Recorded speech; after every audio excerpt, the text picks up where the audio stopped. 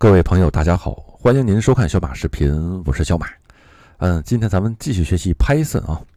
今天咱们的主题呢，大家请看命令行模式。Python 和其他语言一样啊，它有一个命令行模式。今天呢，咱们就来学习一下啊。好，知识点，今天咱们要学习一下 Python 命令行模式的使用方法该怎么做。马上看实战演习哦。大家请看，这实战演习有这么几个部分。首先说。呃，我先看一下我现在当前所使用的 Python 的版本。上期给您敲过，今天咱们再来一次 py Python 空格，然后去掉 e 加一个杠大 V 回车啊，三点七嘛，对吧？呃，因为我用的是最新版本啊，还热乎的。这个是两千一八年六月二十七号 release，所以说咱们用最新版本啊。好，那比如说在这个今后看到我朋友这个视频的朋友呢，呃，您可能用的是更新版本啊，甚至说出来四点零、五点零都有可能啊。没关系，咱们先基于三点七。我现在这个时间点的最新版本进行讲解啊。我现在这个时间点是这个俄罗斯世界杯正在进行期间啊，如火如荼进行当中。好的，不说了，咱们马上。然后咱们怎么进入到命令行模式呢？试一下啊，P Y T H O N，敲上 Python 的这个命令行，一回车，哎，大家请看，出现了三个大于号，说明这就是 Python 的命令行交互模式啊，命令符。然后咱们一个一个试一下啊。呃，首先我看啊，咱们先用第一行命令 print out 什么意思？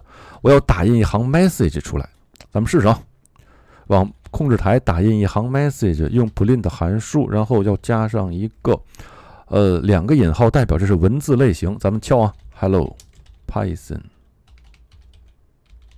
Word，没有问题吧？哎，我这个单词怎么老敲不对？好，然后一回车，你看打印出来了吧？没有问题。接下来，看我这左边课件啊。接下来，这是什么东西？Ctrl Z，Ctrl Z 代表什么东西？我退出这命令行交互模式，试一下啊。Ctrl Z 出来了吧？然后注意还有加个回车，你看又回到我这个命令行的这个提示符了嘛，对不对？好，那咱们再重新进入 Python 啊。接下来咱们干什么？呃，是这样啊，大家先看这地方，Python 它的这个命令行，嗯，交互器呢？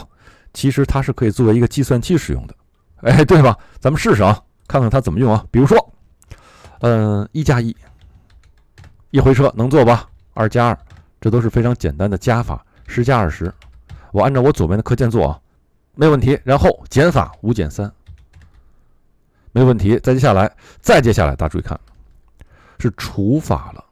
除法有个什么问题？有个小数点问题嘛，对不对？咱们试一试啊。比如说，三十除五。得多少？六。哎，您算的比较快啊，六点零，没问题吧？呃，它是不带小数的。如果带小数呢？比如说六除五，能除吧？得多少？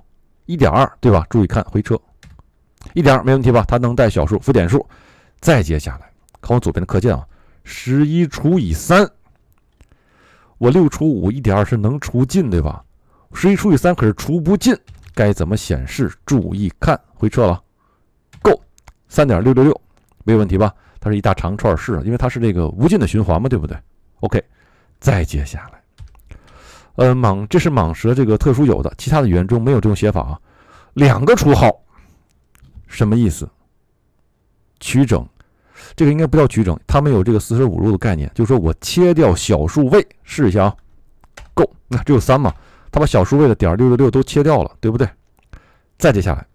再接下来是咱们用到这个四舍五入的写法，round，这个其他语言中也是一样，也叫 round。咱们试试啊，round，然后十一除以三，我在没有指定任何参数的前提下，它该怎么做？注意看，三点六六六进行 round 一下之后会显示四嘛，对吧？四舍五入，呃，六呢肯定要往上入，所以说呢，啊，入到这个四上去。那么注意，我如果指定个小数位呢？比如说我指定两个小数位。这个时候该怎么显示？三点六六六六该怎么显示呢？三点六七嘛，对吧？哎，四舍五入，OK，啊，这个是咱们小学知识了啊。好，接下来乘法，乘法怎么做？咱们试试啊。比如说二乘三，能乘吧？没问题。然后二乘乘三，这也行吧？哎，这个二乘乘三什么意思啊？对，这是它的这个开方，三次方，没问题吧？然后二乘乘八，还能乘吧？什么意思？相当于是八个二进行相乘嘛，对不对？这是数学知识啊。够二百五十六，没有问题吧？OK OK，这就是简单的这个计算器的使用方法，其实很简单啊。但有朋友说，我就呃想用这个 Windows 里面带的这个计算器，没有问题，我也用它。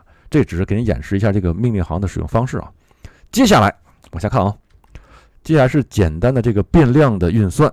其实这个也是一样啊，有编程经验的朋友都知道啊。比如说，咱们做两个变量啊，试一下，a 等于十，b 等于二十，这什么东西啊？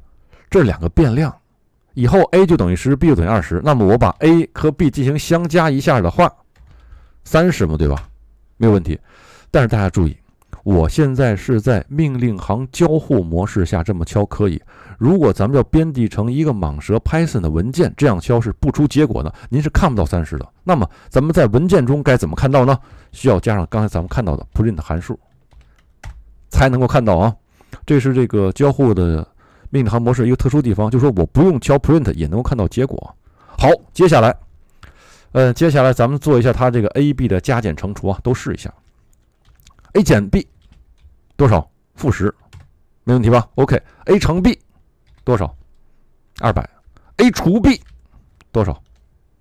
零点五嘛，对吧？run 了一下变成一，可以吧？好，这就是简单的数学运算。再接下来，咱们做的字符啊，大家请看我的画面左边啊。首先，咱们先定义一个字符串，Hello World，我就直接拷贝过来吧。Hello World，然后一回车，注意看。呃，它就自动给我显示了。按理说是怎么做？按理说这地方我应该是加上一个 print，仅仅是因为它是在交互控制台模式，所以说咱们不用加也能够显示。接下来，Hello World 它本身是一个对象，既然是对象，您就知道肯定有它自己的方法和属性。比如说，蟒蛇 Python 给咱们提供了一个叫做 title 的方法，咱们执行一下，看什么结果啊？有朋友能猜到加标题是吧？看看它怎么给咱加的标题啊？Go，来，大家注意看。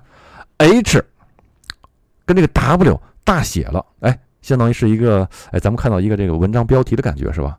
好，咱们再来啊，呃，不加标题了，加什么？Upper，Upper 什么意思？这跟其他语言一样，大写，所有字母呢都给我大写，没有问题了吗？呃，与之相应的 Lower 小写，对不对？哎，Low 呢？小写没有问题，这是它最基本的使用方式。然后再给您介绍一个概念，什么概念？转译字符，这个在 C 语言、Java 里面都是一样啊，C Sharp 都是一样。咱们试试啊，呃，比如说我这定了一个字符串 Hello World，然后呢，赋给一个 str 的变量，没问题吧？大家注意看，我我这个地方，Hello 没有问题，然后是反斜杠 n，然后是再跟 “Word”，什么意思啊？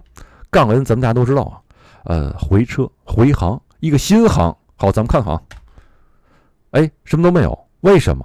对我还没有输出它嘛，对吧？print 一下，来大家请看，hello 回车，然后呢，word 没有问题吧？OK OK，再接下来，咱们重新给这个 itr 赋值，赋什么值？大家看这边，杠 t，杠 t 什么意思？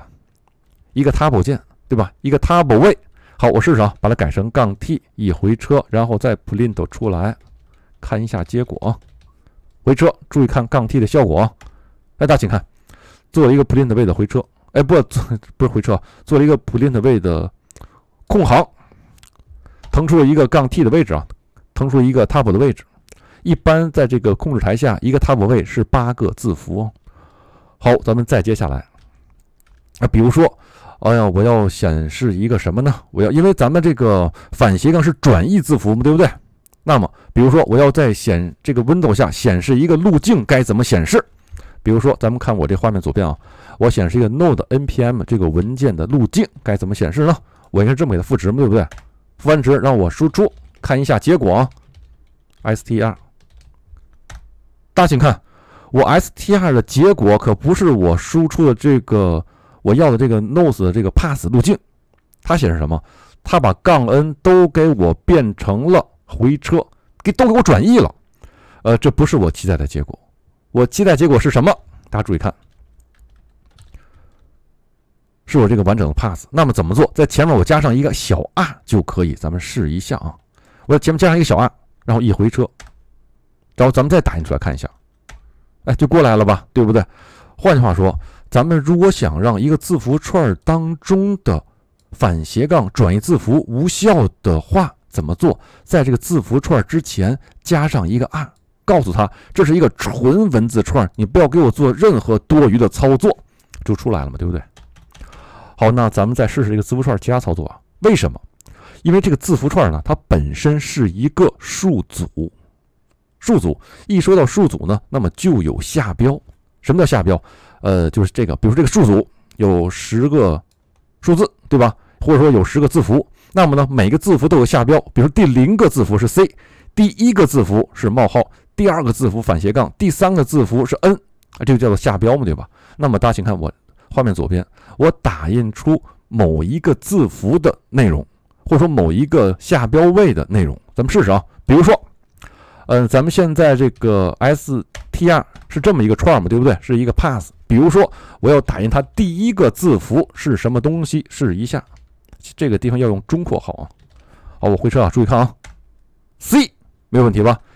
然后这是从零开始嘛？那么第一个字符呢？第一个字符实际上对应的物理的是第二个嘛，对不对？好，咱们下标是一的这个字符是。冒号下标是二的这个字符是反斜杠，对吧？OK，没问题。下标是三的字符，再做一个 N，没有问题吧？哎，这就是下标，然后呢，打印出某一个字符位的内容。但是在蟒蛇当中，还有咱们提供一种切片的概念，咱们看一下这个地方。比如说，呃，我想打印出下标从一到五该怎么做？一冒号五。冒号前是 from 的位置，冒号后面是 to 的位置，但是却不包含 to。咱们看看啊，从一到五，这是我的内容。那么从下标位是一是哪个字符？冒号五是哪个内容？零一二三四五是 D 对吧？所以说我刚跟您说，它不包括这个五的位置，那么它应该从一到五打印出来的是冒号反斜杠 N O，看看是不是这结果啊？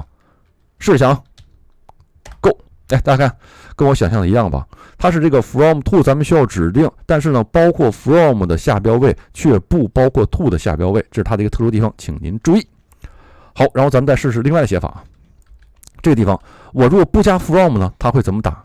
这个地方不加 from，试试啊，这个地方咱们不加 from，那么它会从开头从零打出来什么？加上一个 c 嘛，对吧？跟刚才的内容相比。OK，还有另外一种切片做法，该怎么做？注意看，呃，我这个写法呢是不指定 from，只有 to。那么我能不能可以指定 from，不指定 to 呢？当然可以，咱们试一下，看什么结果。Go，，哎，什么意思？只指定 from 不指定 to，就说明咱们还拿这个例子来说啊，from 是五，五是哪个字位？咱们刚看到是个 D 嘛，对吧？换句话说，从 D 开始，如果没有 to 的话，那就是说。那就是说，从 D 开始，剩余的所有字符都给我取出来，没问题吧？所以这就是咱们刚刚看到的结果啊。D E 反斜杠，然后是 N P M，就是这个字符串切片的写法。这个是在咱们这个编程过程中是非常非常的常用啊。OK，接下来 Ctrl Z 退出。好，通过今天我给您这个例子嘛，您能够简单的了解一下 Python 它给咱们提供这个命令行模式大概的使用方法。这个，比如说咱们有些简单的这个程序的调试，或者说有些简单代码的实践，咱们不用说开个新文件，然后再编写文件再去运行，哎，通过这个命令行模式呢也能够使用。不过呢，这个模式其实在咱们实际工作中呢用的并不是很多啊，毕竟还是愿意写成一个文件调试，呃，编辑比较方便嘛，对不对？OK，以上呢就是今天我给您分享的所有的内容了。今天代码呢我会放到开源中国的服务器，今天视频呢会传到优酷、YouTube，包括 B 站，供您下载观看。那咱们在下个视频再见吧，拜拜。